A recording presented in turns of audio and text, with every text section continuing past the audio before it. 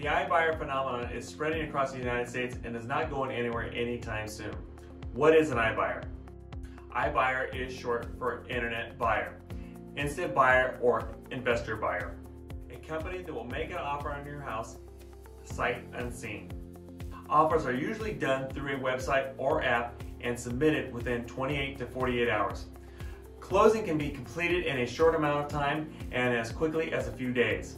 The cost is marketed as comparable to a traditional closing using a realtor.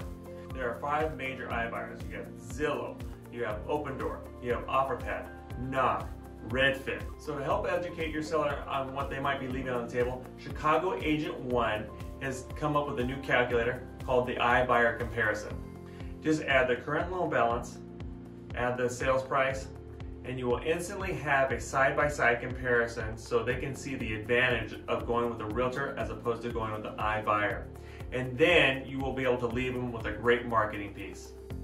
Hopefully you guys found this information useful. And remember, on all your real estate transactions, choose Mike and Bobby with Chicago Title.